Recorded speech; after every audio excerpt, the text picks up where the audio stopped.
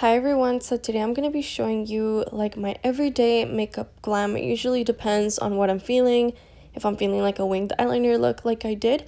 So I'm first starting off with some primer. I use the AOA primer and then my foundation I use the Urban Decay All Nighter.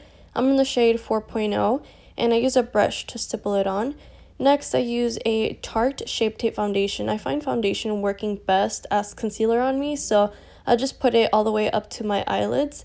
Next, I take a BH Cosmetics natural palette and I take a light cream sort of orangey tone and the shimmery champagne and I just put that on my eyes and all over my eyelid.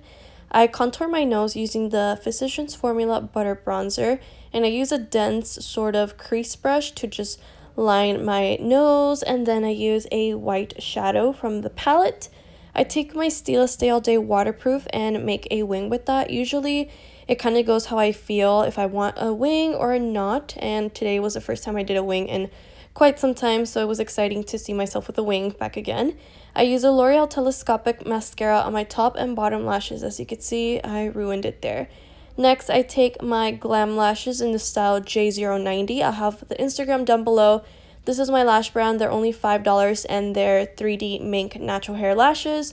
So yeah, just letting you know. Next, I take MAC Melba Blush, and this is a matte blush, and I absolutely love it. I don't use bronzer on my face. I don't like it anymore.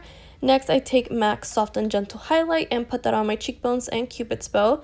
I take MAC Velvet Teddy Lipstick, and that is all that I do for my makeup. So I hope you all enjoy this video. Let me know in the comments down below what you thought about it, and I will see you all next time. Bye!